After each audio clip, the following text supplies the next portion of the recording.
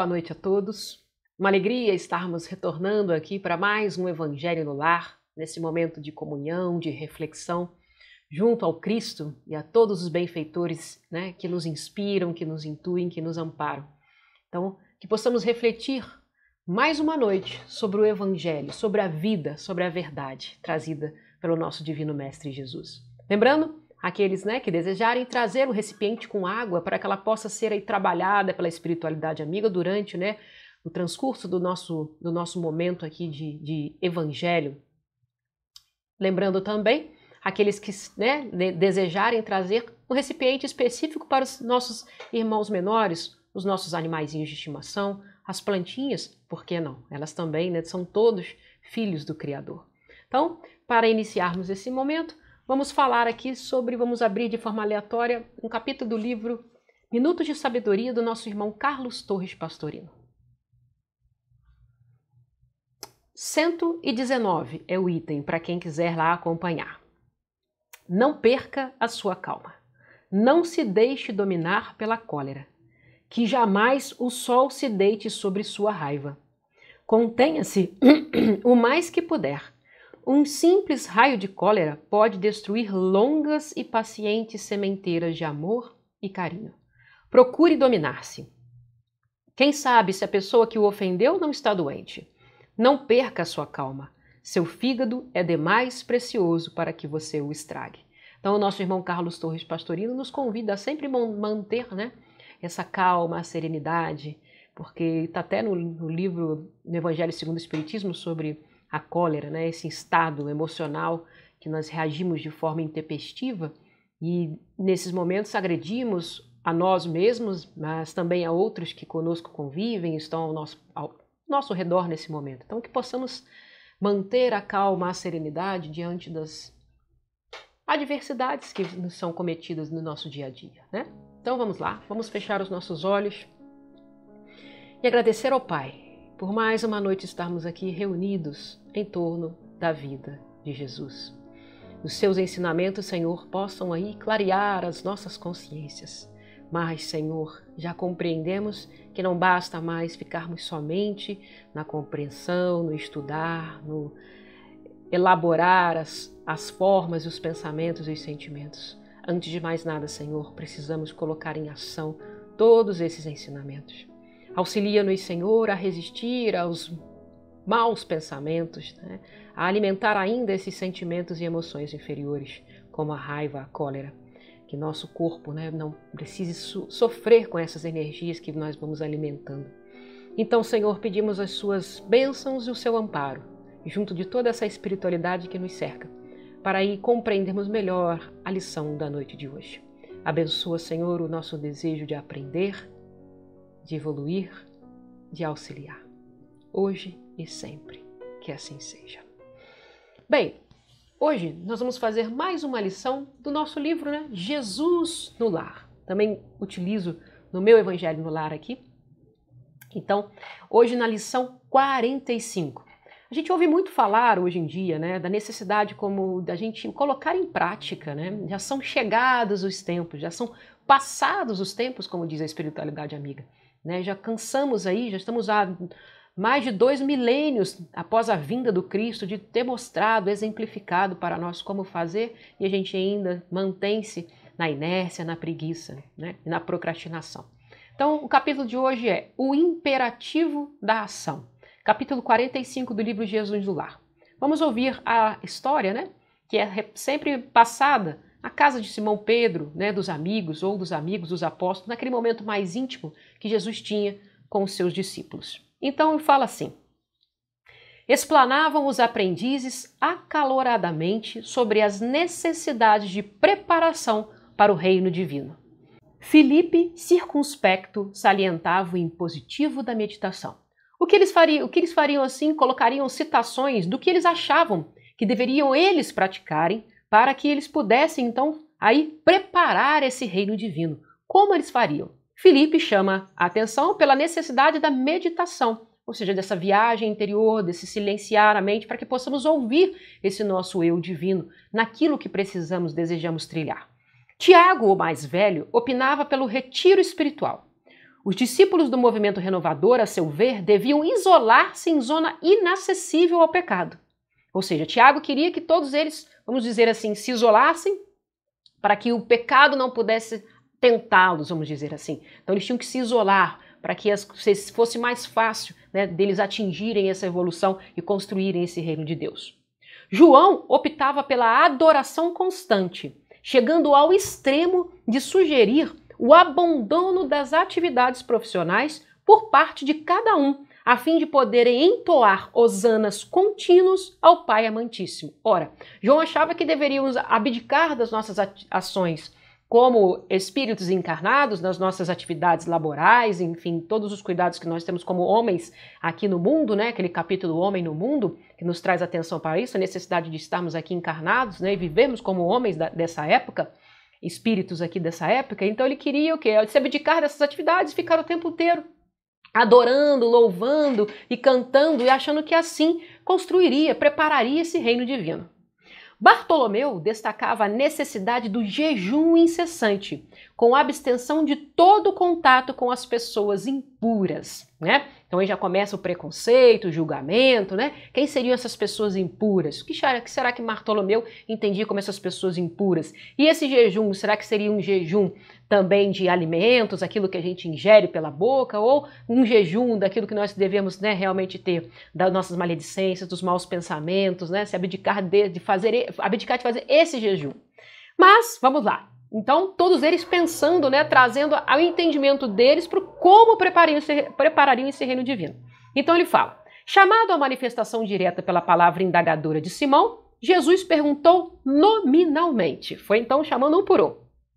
Pedro, qual é a água que desprende miasmas pestilenciais? Ou seja, qual é a água que solta, né, que libera coisas tóxicas, vamos dizer assim, esses miasmas, coisas tóxicas? Pedro, de pronto, sem dúvida, respondeu o apóstolo intrigado. É a água estagnada, sem proveito. O que Jesus está querendo trazer para a gente? Né? Vamos trazer retratos, da, da principalmente da, da natureza, para trazer para nós esses exemplos do que é essa, o reino divino, a preparação do reino divino, como que é, como que a natureza trabalha em cooperação contínua. Então Jesus vai tra trazer para nós essa reflexão. Então Pedro logo fala a água estagnada, ou seja, a água parada. A água parada, ela é o quê? Ela concentra aquelas toxinas, aqueles aquelas, aqueles dejetos né, que vão se assentar geralmente no fundo e o que? Soltar aquelas toxinas. Sorridente, dirigiu-se ao filho de Alfeu, indagando: Tiago, qual é o peixe que flutua inerte na onda?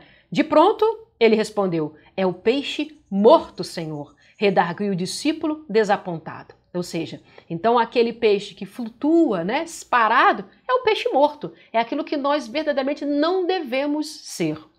Bartolomeu, qual é a terra que se enche de matagais daninhos à plantação útil? Ou seja, qual é a terra que permite né, se encher de, de, de desses, desses, é, dessas ervas do, do, do joio né, no trigo? Ele fala: o interpelado pensou, pensou esclareceu.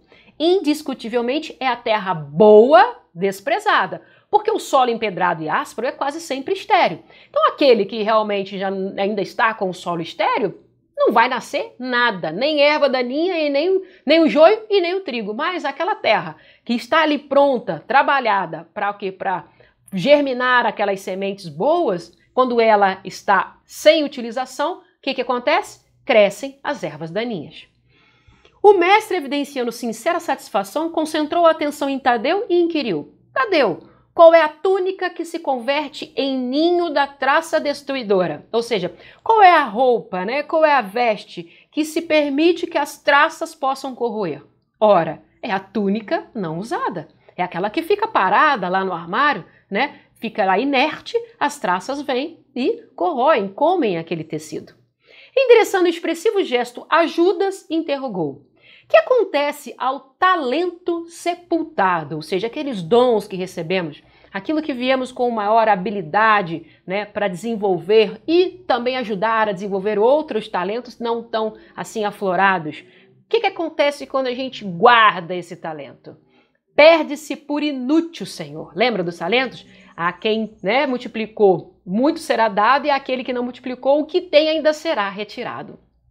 Logo após, assinalou com o um olhar um dos filhos de Zebedeu e falou mais incisivo, ou seja, mais ali firme, Jesus falando firme com eles.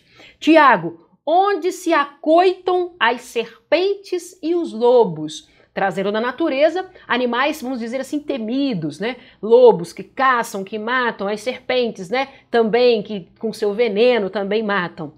E aí ele diz: é, nos lugares em ruína ou votados ao abandono. Aqueles que estão o quê? Aí, indo contra as leis divinas, contra a construção desse reino de Deus, inertes, parados, não colocando seu talento em prática, deixando as ervas daninhas crescerem, né? Se fazendo como peixes mortos, aqueles que flutuam e não aqueles que nadam. Então, são diversos os exemplos.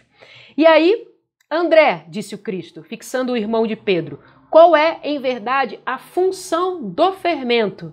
Mestre, a missão do fermento é dar vida ao pão. Ou seja, aquela massa do pão, se não tem o fermento para levedar, trazer, movimentar o ar ali, ela não vai o quê? Crescer. Então a massa sem o fermento é uma matéria inerte. Em seguida, pousando nos companheiros o olhar penetrante e doce, acrescentou bem-humorado. Agora vem a lição, né? Ele vem perguntando, chamando a reflexão. Agora vem a lição de Jesus. O templo está repleto de adoradores e a miséria rodeia Jerusalém. Ou seja, lá dentro do templo, nas adorações, nos cânticos, nas, nas né, das leituras, está cheio, mas a fome lá por lado de fora, onde nós devemos atuar e auxiliar os irmãos, aqueles que ainda passam fome, então lá não se tem esses adoradores. Se a luz não serve para expulsar as trevas, se o pão deve fugir ao faminto e se o remédio precisa distanciar-se do enfermo, onde encontraremos proveito do trabalho que nos propomos. Ou seja, quando nas ideias deles eles se, se, acham que essa preparação do reino divino vai vir somente com a meditação, somente com o isolamento espiritual, somente com a adoração, se abdicando de estar ali no meio de todos, trabalhando, né, cooperando, se eles acham que isso é, o, é a solução, ou seja, o que, que Jesus fala? Se o alimento tem que fugir, se o remédio tem que se afastar da, da, da, das doenças, como? Como? Como, como fazer? Ele diz: o reino divino guarda o imperativo da ação por ordem fundamental. Sigamos para diante e propaguemos a verdade salvadora. Por meio, olha como Jesus nos convida a propagar essa verdade, por meio dos pensamentos, por meio das palavras, por meio das obras e de nossas próprias vidas onde nós estivermos, que nós possamos vivenciar os ensinamentos do Evangelho. No nosso lar, no nosso trabalho, na nossa casa espírita, no grupo de amigos, pensando coisas boas, alimentando bons sentimentos. Por quê? A nossa boca fala o que está cheio o nosso coração. Se o meu coração está cheio de tristezas, angústias, eu vou expressar isso. E esse mesmo coração também alimenta aquilo que eu penso. Então, tudo que eu alimento no meu coração, eu alimento no meu pensamento e eu expresso em palavras. O todo sábio criou a semente para produzir com o infinito. Desce do alto a claridade do sol cada dia para extinguir as sombras da terra. Então, todos os dias o sol nasce e se põe. Tem esse ciclo, né? Do dia e da noite, mas incansavelmente está aqui para queimar esses miasmas dos nossos pensamentos, né? principalmente durante a noite, momentos de maiores ociosidades. Então, ele vem para nos ajudar. Não é outro ministério da Boa Nova. Olha que interessante, agora gravem aí. Amar servindo é venerar o Pai acima de todas as coisas. Então, amar trabalhando aí sim nós estaremos adorando o Pai acima de todas as coisas. Então é na ação, no trabalho que Jesus nos orienta. E servir, ou seja, no durante esse trabalho, amando é amparar o próximo como a nós mesmos. Então guardem, amar servindo e servir amando. Eis a nossa orientação. Pautar-se por essas normas em nosso movimento de redenção é praticar toda a lei, a lei do amor, a lei maior. Maravilha, né? Maravilha. Então vamos finalizar esse momento de reflexão pedindo ao Pai que nos inspire, nos trazendo aí confiança, coragem, perseverança, fé, né? enriquecendo a nossa fé e pedindo ajuda dos benfeitores espirituais, que eles sejam aí os seus olhos, os seus a sua fala para os nossos ouvidos, mestre. Pai, para que possamos então juntos caminhar nesse movimento de trabalho, de servir, de amar. E é para isso que estamos aqui, reaprender a amar, como eles nos dizem, servindo, servindo, amando. Como nos lembra nosso irmão Francisco, né? amar que ser amado, pois é dando que a gente recebe. Que nós não nos preocupemos por aquilo que estaremos recebendo, mas por aquilo que estamos fazendo. Primeiramente por nós mesmos, porque estamos aqui e temos as responsabilidades primeiramente com as nossas consciências e estendendo isso a todos, ao próximo, como Jesus nos ensinou na parábola do bom samaritano. Quem é o nosso próximo? Aquele a quem nós nos propomos a auxiliar. Todos eles são os nossos próximos.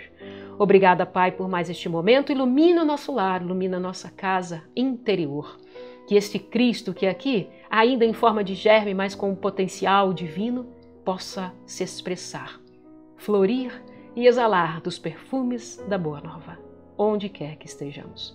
Abençoe essas águas que aqui estão, que elas possam receber dessas energias que vêm do alto, de toda a natureza que nos circunda, de toda a criação. Ajude-nos, Senhor, a curar as nossas chagas do corpo físico e da nossa alma. Obrigada Fiquem conosco hoje e sempre e que nós também possamos estar com vocês hoje e sempre, amando e servindo. Que assim seja. Boa noite a todos e um até breve, se assim ele nos permitir. Fiquem com Deus.